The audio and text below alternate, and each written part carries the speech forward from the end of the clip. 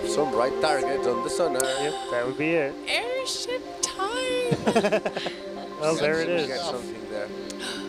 There it is.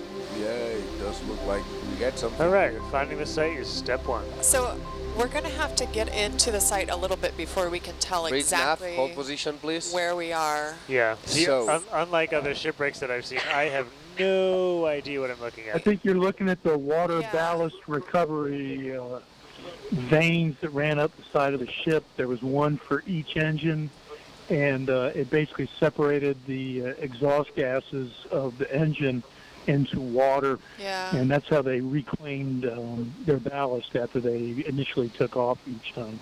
If we go forward and we run straight into biplane number four, then we'll know exactly where we are. Oh my gosh. So that's one of the planes. It is one of the planes. That's plane number four. It's A lot worse. extremely worse. Wow, that's what happens over nine years. Wow. Bruce, are you seeing this? Of course you are, but Yeah, it's one of the aircraft, I think. it's no, it's number four. Wow. Science. Those are uh, two of the spars for one of the wings. Yeah, it's. And in the center, you can see the fuselage. Yep. Yeah.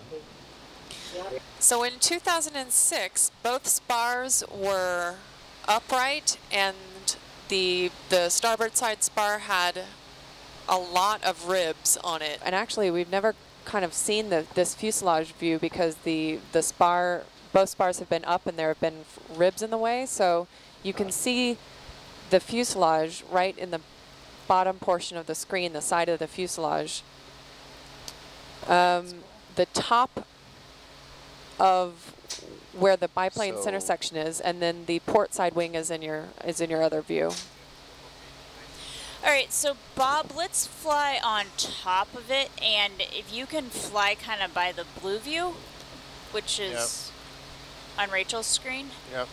And this And- biplane um, does not have the hook mechanism on top of it, so this will be one of the shorter The ones. shorter ones? Okay. Yeah. And that's why I want to acquire a couple so we have no surprises. Yeah.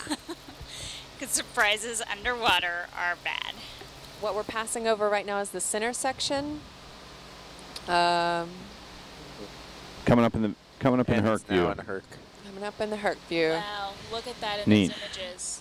So what you're seeing on the left-hand side of the screen is the forward spar of the aircraft. You can just see how the other one has collapsed. Um, Wow. The port wing of the aircraft looks like it did in 2006, but the starboard one is is completely de deteriorated. Looks really gross. So this is the port wing. This is the port wing. So, Will, just for reference there, you were about 2.2, 2.5 meters above the high point of that plane.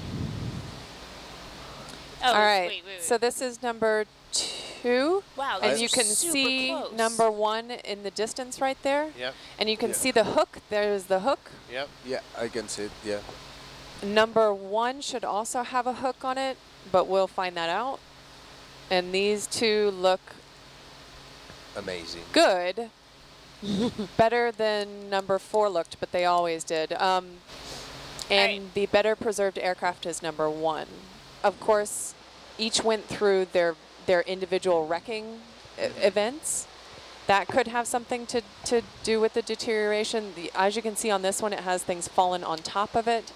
Um, it could have could have had some sort of effect about how it I think deteriorates. that is a cork walkway that's on top of it. Yeah, we think it. We think it is. So we're coming up again right now on biplane number two. Stepped up. Copy. We can see a lot of marine snow and grossness going on. Um, right in the distance, you can see biplane number one. Biplane number two and one are facing each other. Get ready in channel two. They're good friends. And what we also want to look at later on in the survey is whether or not we can still see the engine on biplane number one, which we could see in 2006. And I actually think that that's the propeller still sticking up. This is that drive shaft again. At the end of this, over to the left-hand side, we should get to see the, the Maybach engine, the first engine that we'll probably see. So that'll be good. Okay, Will, you're clear to come down. Whoa. Here is our first engine. Look at all those fish. And it's shaft. Um, that's also the uh, Allison outdrive that allowed Yes. the propeller or the to change direction to point either forward, up, or down. hmm All right, coming up on aircraft three. And a big fuel tank. And some cylinders. Megan, we have many viewers who are wanting to know about the Macon and how it sank and a little bit of its story. Um, we are on the site of the USS Macon airship. It was a rigid frame structure um, with individual gas bags. It went down off the coast of California where we now are in Go ahead, 1935 along with its four biplanes. Five more south, please. The the airship was involved in a storm after coming back from one of its missions. The top vertical tail fin ripped away, and then it had an air shear rip that away. Unfortunately, it also ruptured some of the gas it makes bags, sense to do this. and So you want to it sank going. in the ocean. There were 83 people aboard, 81 survived. Bridge nav, can we get five meters west?